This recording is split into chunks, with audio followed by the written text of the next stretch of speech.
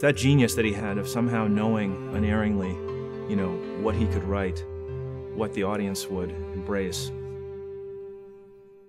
and his sort of genius for for uh, constantly rewarding the audience for venturing into the uncomfortable territory, rewarding them, you know, in a very unpretentious way, rewarding them with laughs, rewarding them with lumps in their throat, with all of the just sort of basic audience uh, rewards.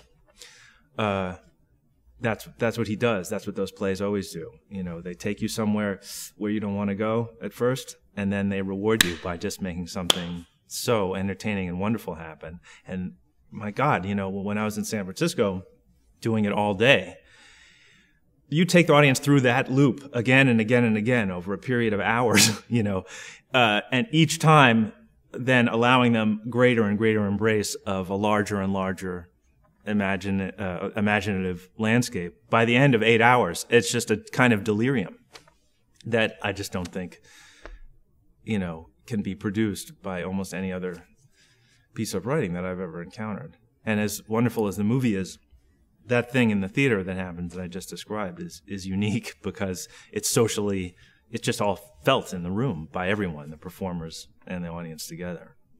And, you know, that's one of the things. The play also does all these other things that are captured beautifully in the movie, maybe even captured better in a movie. But that thing,